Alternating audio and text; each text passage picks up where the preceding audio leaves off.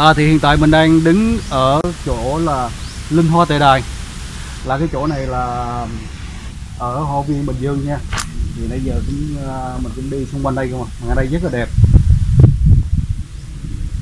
Thì à, ngang đây á, là dành cho lúc mà thờ cúng mà lúc thờ cúng như dầm tháng 7 với mọi người. Hay là lễ à, mà lớn á, thì người ta sẽ cúng tại đây tập trung luôn cái chỗ mà nơi Hồ Viên này luôn. Giống như cúng tất cả những cái người nằm ở đây á.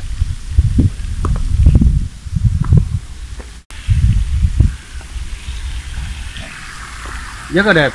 Nếu mà thực sự mà nói uh, bình thường đó mình không quay những ngôi mộ ở đây á, thì không ai có thể biết là ở đây là nghĩa trang mọi người. Nó giống như một cái công viên hay là một cái khu du lịch đó khu nhỏ vậy. Ở đây thật ra nó rất rộng lớn tới hai mươi mấy hecta này ở dưới còn có sen á.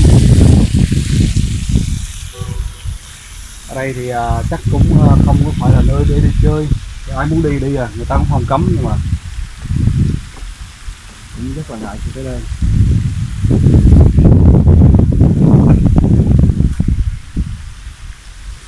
Đẹp chưa? Cái này à, giống như là cái gọi là cái lửa tam muội. Vì cái này các bạn thấy màu đỏ đỏ có lửa tam muội. Thì uh, theo mình tìm hiểu thì kho viên Nghĩa Trang Bình Dương này là một kho viên nghĩa trang đầu tiên ở Việt Nam do Tổng công ty đầu tư xây dựng Chánh Phú Hòa uh, xây dựng và quản lý từ năm 2006. Kho viên này thì có diện tích hơn 200 hecta tọa lạc tại phường Chánh Phú Hòa, thị xã Bến Cát, tỉnh Bình Dương. Ở đây là mình đã đi qua rồi, cũng ờ, đi tới rất nhiều lần rồi, rất là đẹp. Và cái khu vực này như mọi người thấy là giống như là suối tiên vậy, rất là đẹp hay là một cái khu du lịch thu nhỏ vậy. À, cái à, đây là một khu nghĩa trang nha. À, nhìn chung thì giống như khu du lịch hay là cái khu ấy nhưng mà đây là một khu nghĩa trang. Thì mình sẽ review sơ sơ xung quanh đây cho mọi người biết một chút và lát nữa mình sẽ à, dẫn mọi người đến tới khu mộ 6 người trong cái vụ thảm sát Bình Dương. À, năm xưa à, cái vụ này rất là chấn động thì trước mình cũng đã review rồi nhưng hôm nay tới thì mình lát nữa mình sẽ ghé thăm luôn.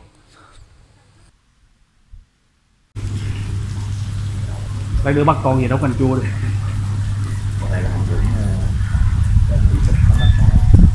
YouTube TV 886 tác nghiệp Hôm nay là chủ yếu là dắt em máy đi để quay cho mọi người. Chứ mình lên đây là mình chủ yếu là tìm cảnh. Cái này lắp ghép video. Còn cái đây mình đã quay cũng khá nhiều rồi. Như mọi người tới đây nếu mà thật ra ở đây là nghi trang chứ không phải là khu du lịch nhưng mà mọi người có thể tới đây để mà đây như, à, mọi người có thể tới đây là vẫn có thể đi du lịch được, nhưng mà chủ yếu là bạn bè rồi đi chơi á. Tới nhưng mà thứ nhất là vào, thứ nhất là phải trật tự, là ăn uống là không xả rác bừa bãi hay nữa là phải nghiêm túc, chứ không phải là không ai cấm mình cả, miễn cho mình đừng phá là được. Còn em thấy chưa? Đây nè, to lắm. Đâu rồi? À, à.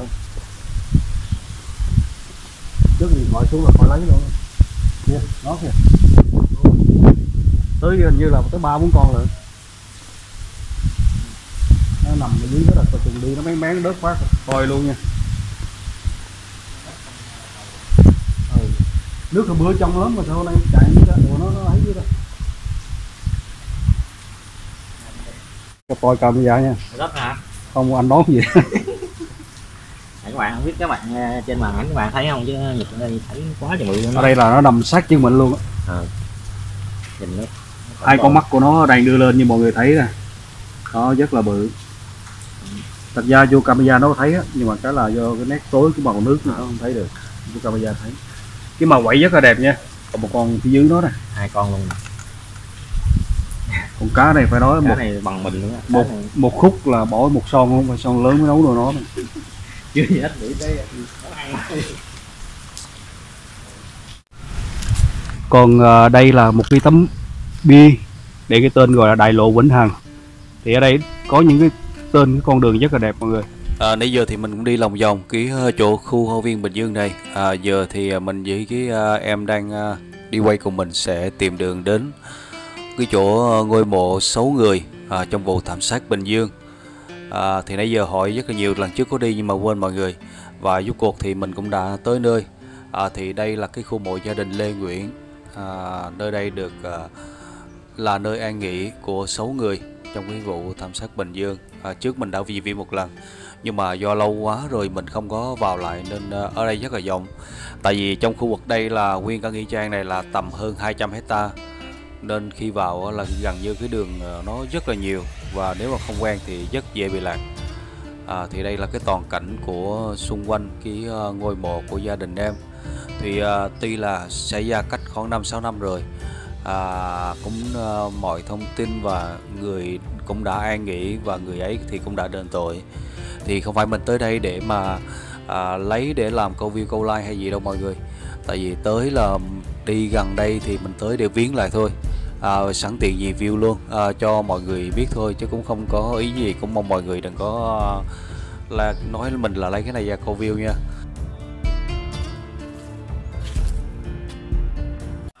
À, chào mọi người, thì hiện tại mình đang có mặt ở Hồ Viên Bình Dương.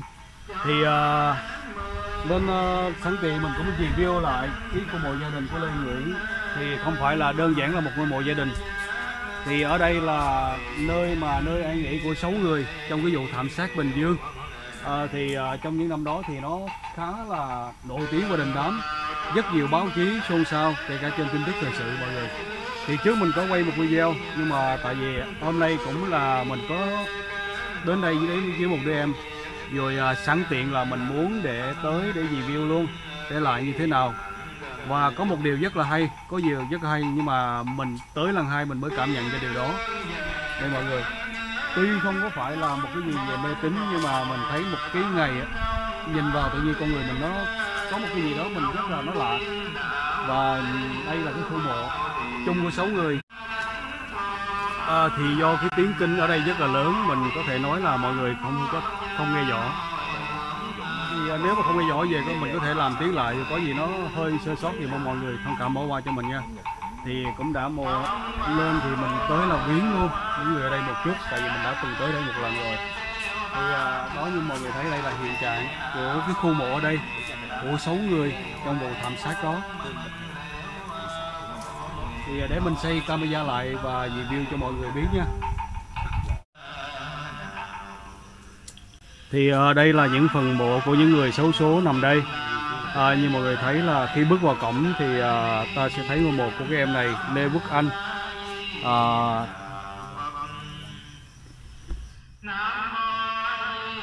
và đây là Lê Thị Ánh Linh à, cái ờ, cô bé này là người yêu của cái người mà gây ra cái vụ đó thảm án đó.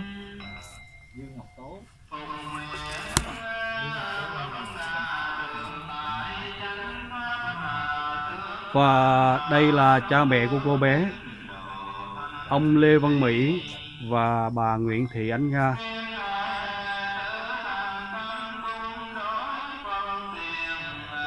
Thì tới đây cũng không có ai. Hôm nay là mình đi chung với một đứa em. Rồi à, dắt đi quay sẵn tiện mình xin vào lại để mà review luôn. À, Và đây là khu mộ này là chắc cũng đã trước rồi. Nó không có phải trong cái à, Tại vì cái ngày cái ngày mắc thì không có trùng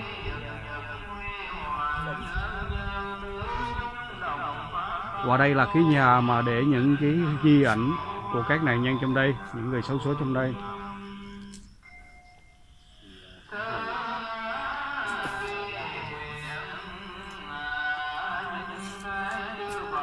Cho mọi người, thì mình cũng không dám là tiền mở cửa vào.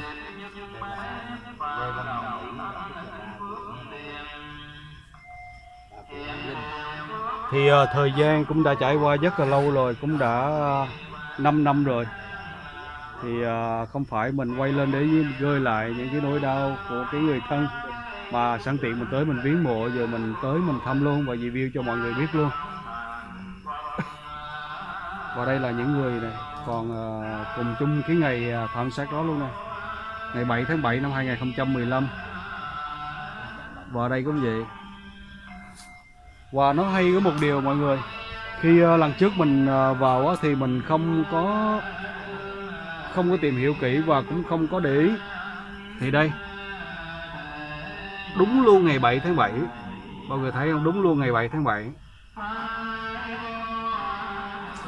thì cái ngày 7 tháng 7 nó như thế nào mà rồi ờ, xem về phong thủy của hướng nhà của cái người này nhân thì người... cái vụ việc ờ, uh, 6 người ở Bình Phước này thì chắc hẳn mọi người sẽ có người liên tưởng đến nhớ cái vụ việc mà Lê Văn Liện uh, ờ, một thời gian trước nữa đã cũng tham sát một gia đình bán tiệm vàng.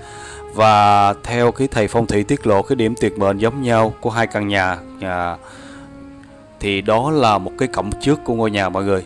À, cổng trước ngôi nhà có một cái chữ L mọc ngược lại thì tại vì sao mà cái phong thủy à, nó quan trọng và cái người, người thầy ờ, người ta tới ta coi à, người ta coi đây là một điểm chung gần như giống nhau luôn.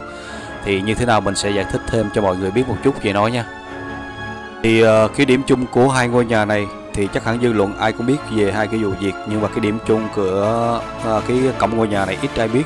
Nhưng mà khi thầy phong thủy tới xem thì thấy là cái cửa trước nhà à, cái cửa cổng mọi người có hình chữ L ngược thì à, liệu cái điểm chung này có sự phải là vô tình hay là nó sự trùng hợp đến lạ lùng như thế này? Thì theo các nhà phong thủy chữ L là một cái thế nhà rất là xấu vì nó phạm vào đọt cổ sát. Có thể hình dung ra rằng nó tự như cái máy chém như cái dao phay. Điều đó có nghĩa là phong thủy ngôi nhà ở rất là xấu. Thì ở vị trí đại hung đó thì à, người ta gọi là chỗ lưỡi dao. À, nếu phòng trẻ em đặt ở vị trí này chúng sẽ cảm thấy bị cô lập và có thể nghĩ ra nhiều trò quỷ quái mà không ai phát hiện được. Thì nếu là người lớn ở phòng đó thì có thể bị bạc đãi. Và thêm nữa thì cái nhà xưởng hình chữ L như một cái dao chém ở cái phần giữa nhà. Ở đây là, gọi là thế phạm đao chạm sát theo phong thủy đó là mình biết như vậy mọi người. Nhưng ở đây hoàn toàn không có, nhà xưởng lại quay ngang lưng à, sẽ tạo ra một sự bị động tất yếu. Người sống trong nhà luôn có sự bất an. Thì mặt khác chúng ta có thể thấy dễ dàng nhận thấy là cái cửa cổng của gia chủ Bình Phước á, và cái dáng khung cửa trên tầng ở chủ tiệm vàng ở Bắc Giang có sự tương đồng. Nó rất là đáng sợ. Đó là cái chữ L một ngược. À, có thể sự trùng hợp ngẫu nhiên nhưng cũng có thể là một cái điều suy ngẫm về cái phong thủy mà không ai có thể phủ nhận được và như lần này mình tới lại thì mình thấy cái uh, về cái tấm mộ bia mọi người mình thấy là ngày 7 tháng 7 năm 2015 thì thực sự mà nói thì cái con số này ờ, mình khi mình nhìn vào mình thấy đều đều thấy thực sự nó một là một cái gì đó nó rất là uh, phải nói về mặt tâm linh nó rất là xấu. Thì uh, đó là một số dự đoán và một số suy nghĩ của mình thôi. Còn uh, không phải là mê tín uh, hay là ấy mọi người nha. Thì đó một sự cảm nhận của riêng bản thân mình khi mình nhìn vào cái tấm mộ bia à, ờ, thấy chỗ ngày 7 tháng 7 thì mình thấy hơi dần vợ người. Thì đó là mình thấy một cái điều đặc biệt à, nhất lần ở đây là vì đây là lần thứ hai mình tới. Thì xưa các cụ cũng có câu nhất mệnh nhi vận tam phong thủy. Vận số con người chi phối rất mạnh. Đôi khi tới vận số tới thì à, các cụ đưa người đó về chơi dẫu có phạm phong thủy hay không. Nhưng với những ngôi nhà mang đại họ khủng khiếp thế này thì thường sẽ lưu lại một vài dấu vết mang ý nghĩa và phong thủy không thể nào xem nhẹ. Và nói về phong thủy thì nó được khác hơn với sự mê tín. Thì mê tín là về thầy bà hay là xem bói thêm đồ à, cũng rất nhiều loại. Còn phong thủy nó là một cái rất là lâu đời rồi. Từ xưa giờ rồi khi chúng ta cắt cái nhà lên hay là đám cưới, đám hỏi, à, kể cả đám ma khi chôn cũng phải hỏi ngày và nhờ thầy phong thủy chọn mảnh đất hay là coi cái đầu hướng à, còn cắt nhà rất là quan trọng tại vì mình thấy có một số nhà khi mà mình cắt nhà không có tốt về phong thủy thì sẽ làm cho vợ chồng rất là dễ bị xào xáo hoặc là đau ốm bệnh tật.